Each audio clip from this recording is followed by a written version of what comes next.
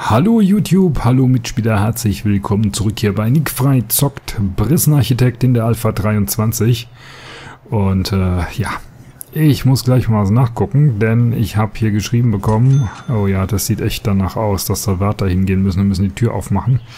Ich glaube, die haben wir nämlich nicht verkabelt, hier vorne die Türen, da hat irgendjemand mir geschrieben, ich glaube, die hast du vergessen und ich glaube, der hat recht. Äh, scheiße. Sorry.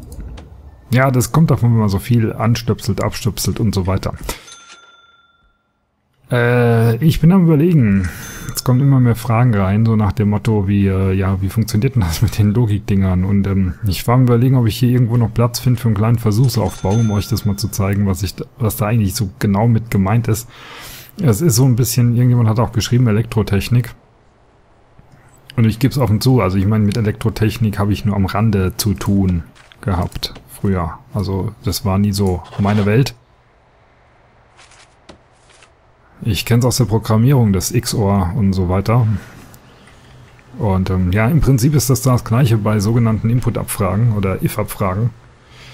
Da sagst du dann, also if, sprich wenn, das und das erfolgt, dann mache das. Und so ist das auch hier. Also wenn ich das end das habe, also beides muss dann an sein, dann passiert was. Also ich weiß nicht, ähm, können wir es uns leisten? Bin gerade am Grübeln. Bin gerade echt am Grübeln.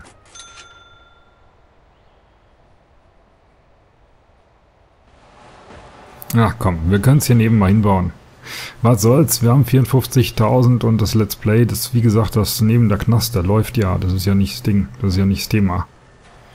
Das kriegen wir schon hin. Hm. Also, die Logikbrücke. Das ist zum Beispiel was, das, ich zeige euch das jetzt einfach mal, wenn ihr die Logikbrücke praktisch hier hinbaut. Dann könnt ihr so ein Kabel hier durchlegen. Oder umgekehrt die Logikbrücke ans Kabel ran, je nachdem. Ich weiß noch nicht genau, wie sie es machen, das sehen wir gleich.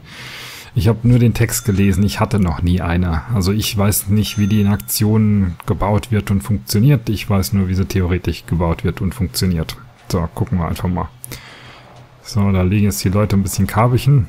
Der baut hier eine Logikbrücke ein. Kabelchen. Kabelchen. Kabelchen, Kabelchen. So. Jetzt machen wir hier mal, ähm, ihr seht schon, dass das blau ist, ja. Jetzt machen wir hier mal eine Verknüpfung von hier oben hier rüber.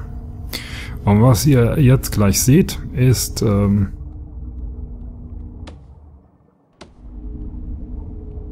wenn da jetzt gleich irgendwas durchs Tor geht, dann wird das alles rot. Also sprich, die Logikbrücke ist dafür da, so ein kleines Kabel an so ein großes Kabel hier ranzulegen. Nicht mehr und nicht weniger. Das macht die Logikbrücke. Was anderes macht die nicht. Können wir wieder demontieren. Und die Kabel können wir rein theoretisch wieder abreißen.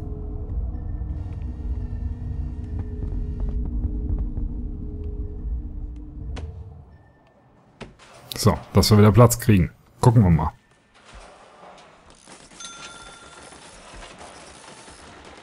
Schwulischwupp, ist alles weg. Und das liegt in der Kiste. So, damit der Knast wieder ein bisschen Geld verdient, machen wir hier oben noch schnell die Exportion wieder hin. Die hatte ich weggemacht, damit sie mir nicht das ganze Holz verkaufen. Das können sich wieder um den anderen Plunder kümmern. Ähm, und wir machen hier weiter. Also, wir bauen mal... Haben wir Schalter? Wir haben Schalter. Ähm, wir bauen mal zwei Schalter.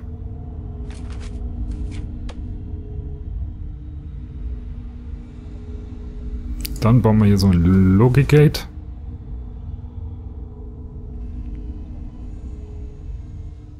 Und jetzt bin ich am überlegen, was wir da dranhängen können, dass wir sehen, ob es läuft. ah, am besten noch ein Logigate. Ist, glaube ich, das einfachste.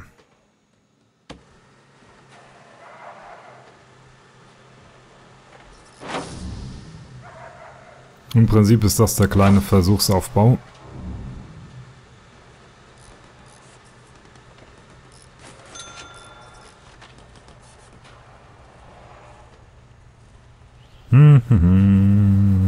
So.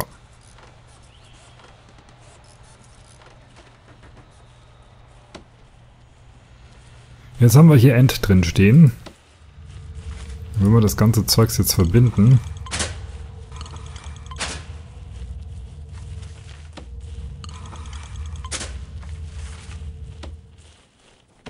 So, wir lassen uns mal kurz laufen, dann sehen wir es am schönsten. Ihr seht, beide Schalter sind an. Hier ist End drauf, deshalb ist das grün und jetzt so. Wenn ich jetzt hier den Schalter ausschalte, äh, so, dann sind nicht beide an und dann sagt das hier, äh, nee, sind nicht beide an und schaltet ab. Das ist die Endbedingung. Also sprich, wenn das an und das an, dann das an. Also wenn das an und das an, also wenn das an und das an, dann das an. So rum. Ihr seht, wenn ich das jetzt wieder anschalte, das ist praktisch wie, als wenn ich mit if irgendwas programmiere. Ich weiß nicht, wer Programmiersprachen kann, der weiß das ja wahrscheinlich. So, wenn ich jetzt beides ausmache,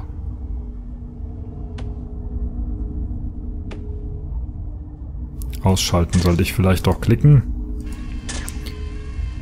So, dann geht alles aus. Jetzt kann ich das hier umschalten. Auf Ohr. Was passiert jetzt, wenn ich den hier anschalte? Der hier oder der hier. Dann das hier. Wenn ich den jetzt anschalte, ändert sich nichts. Der hier oder der hier gleich das hier. Ich formuliere es anders. Wenn der an ist oder der an ist, dann ist der hier an. Ist vielleicht leichter zu verstehen. So, ich mache beide wieder aus. ich wieder anschalten gedrückt anstatt ausschalten. So, jetzt schalten wir hier um auf Not. Und ihr seht schon, wenn ich umschalte auf Not, dann haben wir, wenn der hier nicht an oder der hier nicht an, dann das an. Was passiert, wenn ich einen anschalte? Der hier ist an, der hier ist nicht an, der hier nicht an oder der hier nicht an, macht den hier an. Jetzt habe ich den angeschaltet, jetzt sagt es not, oh oh, da ist einer an, dann geht das hier aus. Ähm... Ich schalte das Ganze wieder aus. Dann müsste das hier wieder angehen. So. Jetzt kann ich noch hier einstellen. Ach Mann, das ist aber auch hier ein Drama. N-End. So, was End macht, haben wir gesehen. Wenn das an und das an, dann das an. Jetzt haben wir N-End. Das ist eigentlich fast das gleiche, das ist not and. Oder negiert and. Also wenn das aus und das aus, dann das an. Das bedeutet das negiert sein. Das heißt, wenn ich jetzt hier einen anschalte... Oh. Das ist jetzt unerwartet. äh... Dürfte normal gar nicht sein. Normalerweise müssen noch beide aus sein, dass der unten an ist. Oder sehe ich da was falsch? Not end. Ah, Moment. Wenn beide an sind. So ist es. Das ist, wenn das an und das an, dann das aus ist nur eins an, dann heißt es, wenn das aus, was nicht ist, Ne, das stimmt auch nicht. Und das aus, dann das an. Hä? Nee. Also, puh, okay, Bahnhof. Leute, ich sag ja, es ist gar nicht so einfach, das alles sich im Kopf zu behalten. Ich stehe hier wieder vor die Kuh vom Berg. Also Fakt ist, ähm, wenn beide an sind, das, wenn beide an sind, dann geht das hier unten aus. Im Gegensatz zum andersrum. Ja, da muss ich ja, also wenn ich normale End habe, müssen beide an sein, damit hier unten das brennt. Und wenn ich N-End habe, müssen beide aus sein, dass das hier unten... Ne, dürfen beide nicht an sein. So rum.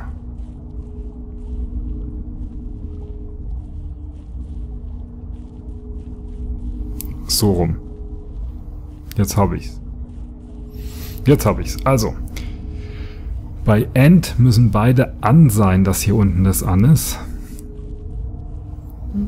Bei Not End dürfen beide nicht an sein, dass hier unten das an ist. Ich hoffe, man kann mir noch folgen. Ich glaube, es ist gerade ein bisschen kompliziert. Ähm, wenn das an oder das an, dann das an, war die Oder-Bedingung. Wenn das an oder das nicht an, dann das hier an. Ist die neue Bedingung. Also, das heißt, wenn ich das jetzt anschalte, geht hier unten das aus. Weil wenn das hier aus also im Prinzip kann man das umkehren. Also das N ist eigentlich das, ist umgekehrte. Eigentlich sagt man, wenn das an oder das an, dann das hier an. Jetzt haben wir, wenn das hier aus oder das hier aus, dann das hier an. Nee, stimmt auch nicht. Das kann doch nicht sein. Moment. Wenn ich das jetzt auch anschalte bleibt das aus. Wenn ich das ausschalte, bleibt das aus. Und wenn ich das ausschalte, geht das an.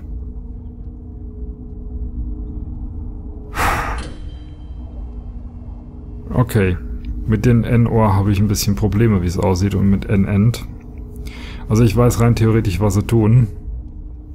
Ich habe es ja gezeigt. Aber ich kann es gerade nicht in Worte fassen und bin gerade ein bisschen verwirrt. Es ist ja auch nicht so einfach. Wenn du damit nicht so häufig zu tun hast und ähm, das nicht anständig gelernt hast und das sitzt noch, dann hast du ein Problem.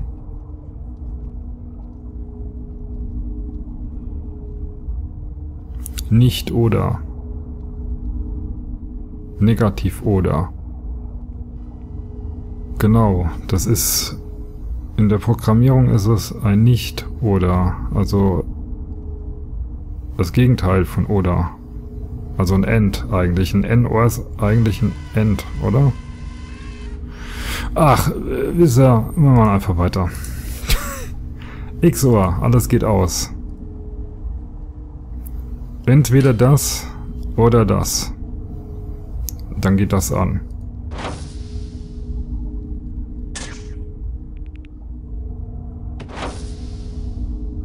Mache ich beide an, geht das aus. Weil es heißt entweder das oder das. Das ist ein Entweder-Oder. Kein Oder, sondern ein Entweder-Oder. Das ist ein anderes Oder. Das bedeutet, wenn mehr als eins an ist, dann geht das aus. Also könnte ich mit so einem X-Ohr ja eigentlich hier die Türschaltung machen. Wenn ich die Kabel direkt auf sowas draufziehen könnte. Also wenn ich praktisch ähm,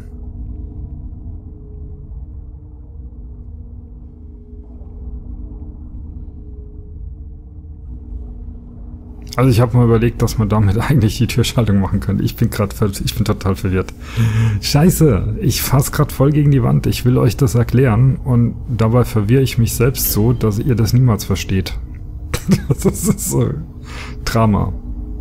Also das hier ist auf jeden Fall ein Entweder-Oder. Im Gegensatz zum Oder. Beim Oder heißt wenn das oder das an, dann das hier können noch beide an sein und das brennt, weil entweder das, nein, also weil äh, wenn das oder das an ist, dann darf das hier brennen.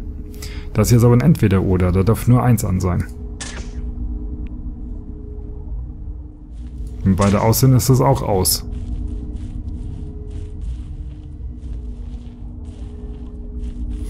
Alter, ich dreh durch. Habe gedacht, das werde ich so schnell nicht mehr sehen in meinem Leben. Jetzt spiele ich Prison Architekten, jetzt kommt's hier drin. Was ich total unnötig finde, ehrlich gesagt. Ähm, das ist gleich, bedeutet im Prinzip, was hier reinkommt, kommt hier raus. So interpretiere ich das. Das heißt, dass wenn ich beide anschalte, funktioniert's. Wenn irgendwoher Strom kommt, gibt's den Strom weiter.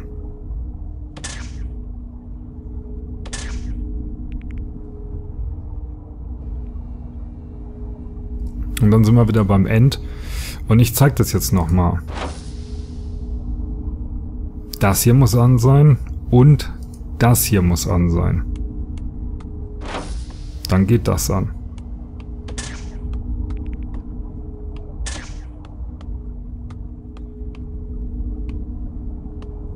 Beim Oder das hier muss an sein. Oder das hier muss an sein. Wenn beide an sind, geht auch. Und das ist der Unterschied zum XOR. So, es not negiert oder dreht um, was hier reinkommt. Wenn hier Strom reinkommt, dann schaltet er den Strom ab. Wenn hier kein Strom reinkommt, dann schaltet er den Strom zu.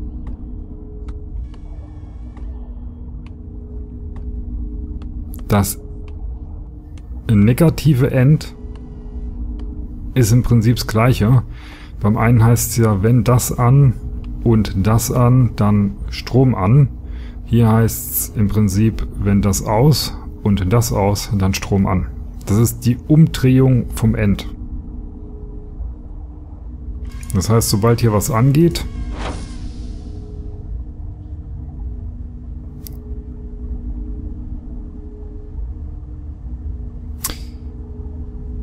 Äh, stimmt das noch? Wir gucken nach. Ich will es jetzt wissen. Wir machen jetzt das End an.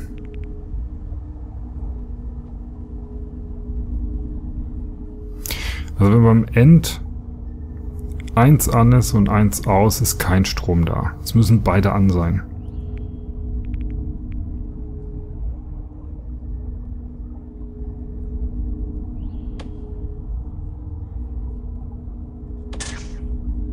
Ja, stimmt ja im Prinzip. Klar, logisch. Ich habe es falsch rum beschrieben, das ist alles. Logisch. Bin ich doof. Es ist ja standardmäßig, ist es ja an. Normalerweise beim End, beim normalen End. Ich, ich glaube, langsam komme ich der Sache näher. Beim normalen End. Jetzt habe ich's. Beim normalen End heißt es, wenn das an und das an, dann Strom an.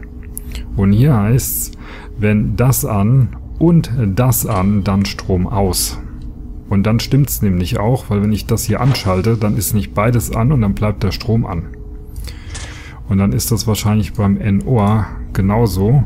Da heißt es ja, wenn das oder das an, dann Strom an. Und beim NOR ist es wahrscheinlich umgekehrt. Das heißt, wenn ich jetzt eins anmache, müsste der Strom ausgehen. Perfekt. Wenn ich beide mache, bleibt der Strom aus. Perfekt. Ja, das ist einfach nur die Umkehrung, die Negierung vom eigentlichen Befehl. Und XOR ist eben das Entweder-Oder, wo ich eins anmachen kann und wenn ich zwei anmache, geht's wieder aus. Weil entweder das oder das darf an sein, beide nicht.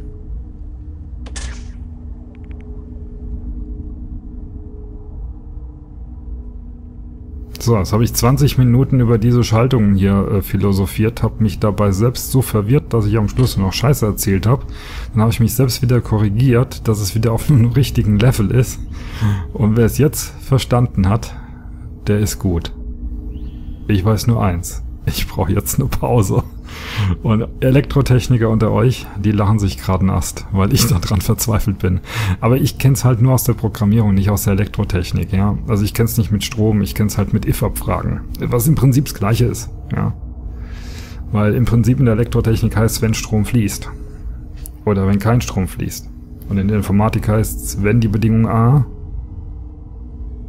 oder wenn nicht die Bedingung A.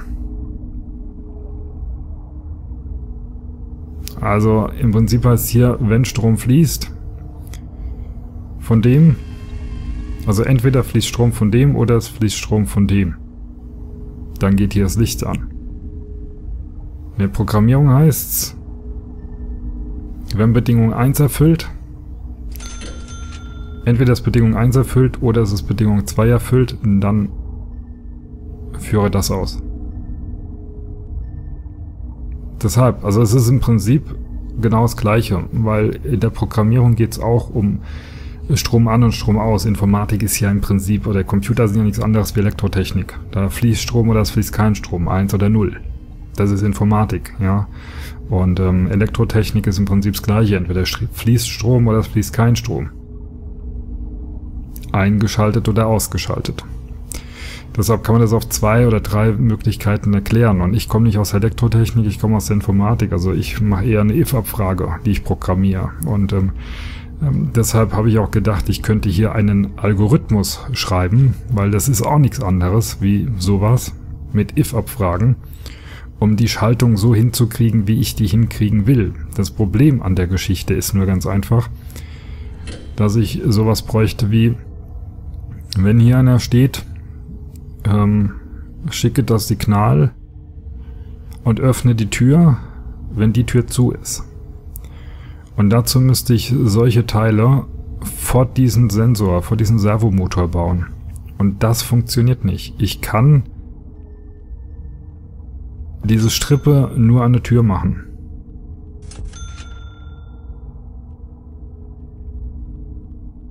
Und deshalb funktioniert es nicht mit diesem Schaltungskram im Prinzip. Ich weiß nicht, wie ich es anders äh, erklären soll. Es ist vielleicht möglich über die Logikbrücke. Das könnte natürlich sein. Dass ich, aber nee, das kann ich nicht. Ich kann das Ding auch nicht analog, ich kann so ein Kabel auch nicht an der Logikbrücke ziehen. Ich kann es nur an diese Türmotoren ziehen und das ist das Problem daran. Also ich komme da nicht weg. Ich kann auch keine Abfrage machen, ob das Tor zu ist. Ich habe keinen Sensor, den ich hier hinmachen kann und kann sagen, wenn Kontakt zwischen Tor und dem Sensor dann fließt Strom und dann kann ich irgendwie was machen. Deshalb habe ich gesagt, mir fehlen Teile. So. Ich hoffe, ich habe es jetzt einigermaßen erklärt, dass es irgendwer verstanden hat. Ich weiß, es ist, es, äh, ja, ultra kompliziert zu erklären und es ist noch komplizierter zu verstehen, wenn es einer so erklärt, wie ich es erklärt habe.